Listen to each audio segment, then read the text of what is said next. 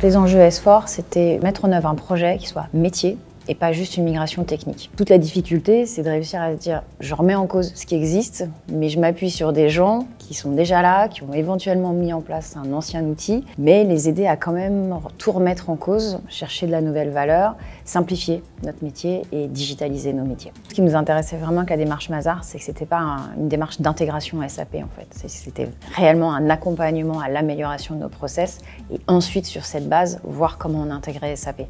Donc pour nous, on, changeait complètement de manière de voir les projets et c'est vraiment ce qui nous plaisait. Dans toute cette, euh, cette vision un peu transverse qu'on voulait mettre en place, effectivement, Mazar nous avait proposé d'organiser une forme de chaîne humaine où euh, tour à tour chacun venait présenter son processus, qui était son fournisseur interne et qui était son client interne. Et donc les uns après les autres, ils venaient se présenter et ça a fait une grande, grande, grande chaîne humaine dans une, dans une pièce. Et plein de gens ont plus ou moins découvert ce que les autres faisaient et où ils se plaçaient dans notre business et notre grand process majeur. Et ça, c'était euh, très, très émouvant et je pense que ça, ça a appris à beaucoup de gens.